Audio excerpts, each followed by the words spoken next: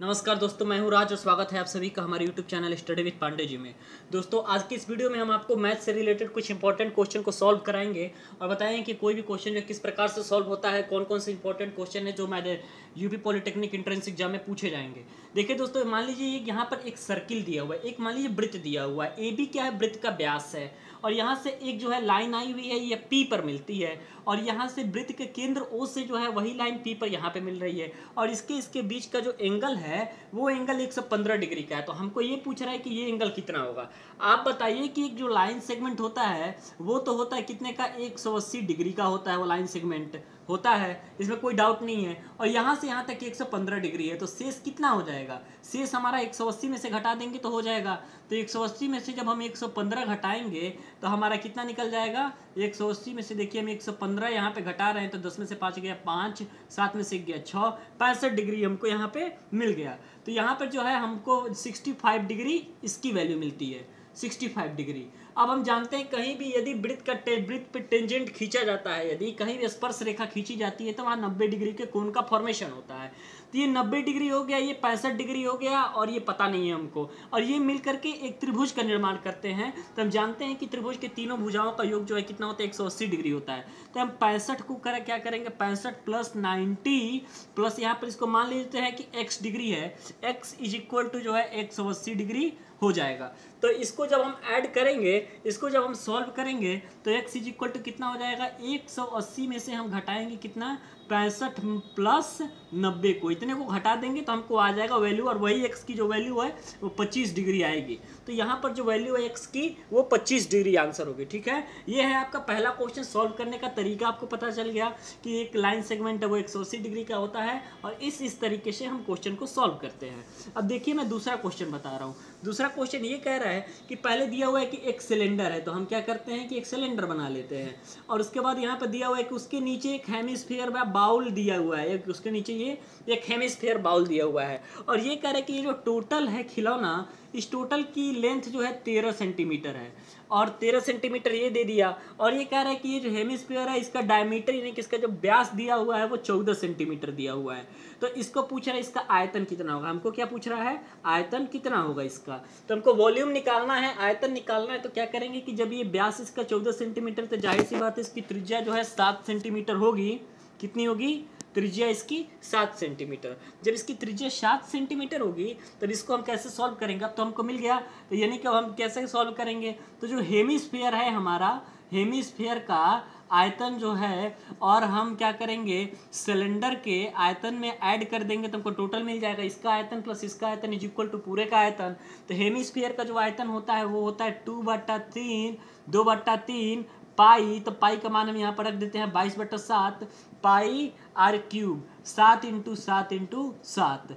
ठीक? Plus cylinder का आयतन हम जानते हैं, पाई आर स्क्वायर एच होता है, पाई आर स्क्वायर एच होता है। और पाई कितना हुआ? पाई का मान बाईस बटा सात, आर स्क्वायर इसका भी दिया हुआ है। इसका जो त्रिज्या होगा वही इसकी भी त्रिज्या होगी।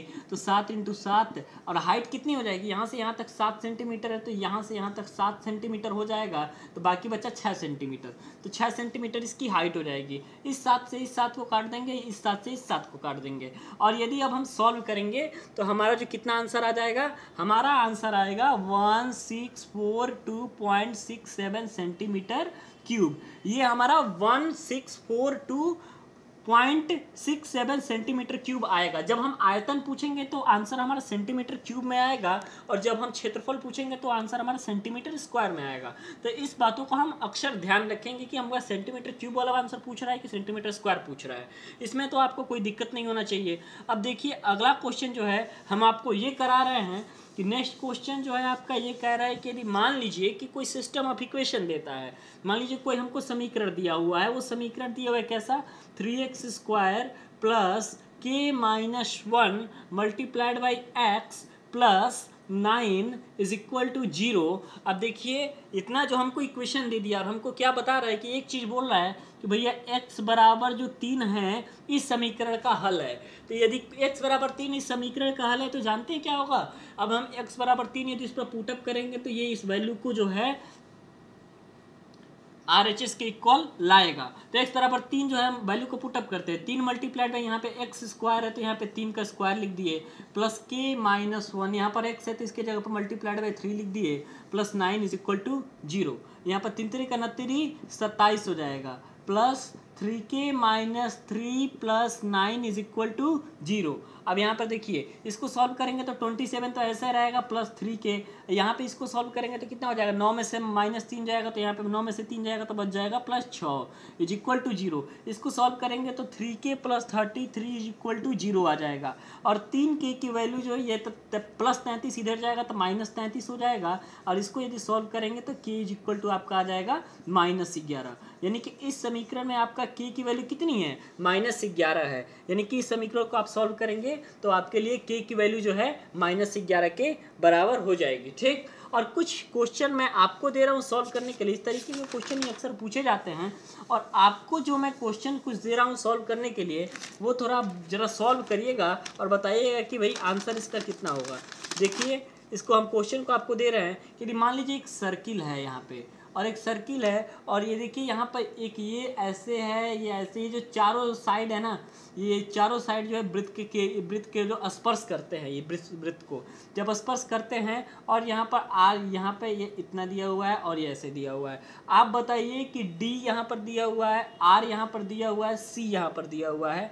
ए यहाँ पर दिया हुआ है पी यहाँ पर दिया हुआ है और बी यहाँ पर दिया हुआ है क्यू यहाँ पर दिया हुआ है और एस यहाँ पर दिया हुआ है। आपको बताना है कि इसमें इसकी त्रिज्या कितनी होगी, इस वृत्त के आर कितना होगा? यदि देखिए क्या क्या चीज़ दिया हुआ है कि बी सी बराबर अड़तीस सेंटीमीटर बी सी बराबर अड़तीस सेंटीमीटर ये दिया हुआ है और सी डी बराबर पच्चीस सेंटीमीटर दिया हुआ है और बी पी बराबर आपका सत्ताईस सेंटीमीटर दिया हुआ है। ये तीन चीज़ें आपको दी हुई है और ये भी दी हुई है कि एंगल डी बराबर नब्बे डिग्री है और ये जो सर्किल है side A B B C C D D है जो कि पी क्यू आर तथा एस पर जो है एक दूसरे को स्पर्श करते हैं। आपको बताना है, और ध्यान दें यदि आपके पास आर एस अग्रवाल की पुरानी वाली बुक है, चाहे कोई भी बुक है तो पेज नंबर यदि पाँच आप निकालिएगा तो ये क्वेश्चन आपको एक्सरसाइज नंबर पाँच पेज नंबर पर ये क्वेश्चन मिल जाएगा।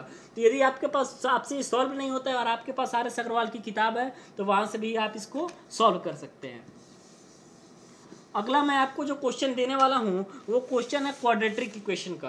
वो कौन सा क्वेश्चन है? तो four root three x square plus five x minus two root three is equal to zero इसको यदि आप सॉल्व करेंगे तो ज़ाहिर सी बात है कि जब भी आप इसको सॉल्व करिएगा ना तो जब यहाँ पर x की पावर टू है तो हमको मूल कितना मिलेगा? दो मिलेगा। एक होगा अल्फ़ा दूसरा होगा बीटा और हमको यही दोनों मूल को फाइंड करना है। और आपको बताना है कि x की वो दोनों वैल्यू क्या होगी। यदि आप अभी तक हमारे चैनल पर नए हैं तो कृपया चैनल को सब्सक्राइब करिए, क्योंकि आपके एडमिशन तक, सारी प्रोसेस से लेकर के तैयारियाँ तक पूरी पॉलीटेक्निक की आपको यहाँ पर बताई जाएँगी। क्योंकि ये मेरा चैनल सिर्फ़ पॉलीटेक्निक के लिए है पॉलीटेक्निक के अलावा इस पर कोई अदर इन्फॉर्मेशन नहीं दी जाती है। तो आप हमारे चैनल को सब्सक्राइब करिए, यदि आप पॉलीटेक्निक इंट्रेंस एग्ज़ाम के स्टूडेंट हैं तो और दोस्तों जो है पिछला जो मैंने टेस्ट कराया था वो टेस्ट आप लोग दीजिए। अभी बहुत सारे बच्चे नहीं दिए हैं उस टेस्ट को दीजिए। थोड़ा क्वेश्चन भले ही कठिन है लेकिन यदि आपने ध्यान से क्लास टेंथ की बुक को पढ़ा है तो आप निश्चित ही सारे क्वेश्चन को लगाने में सक्षम होंगे। और क्वेश्चन को सॉल्व करिए टेस्ट नंबर टू के और कमेंट बॉक्स में आंसर ज़रूर बताइएगा। और आज मैं दो, दो दोनों क्वेश्चन दिया हूँ इसको भी आप सॉल्व करने का पूरा पूरा प्रयास करिएगा। मिलते हैं आपको नेक्स्ट वीडियो में। धन्यवाद।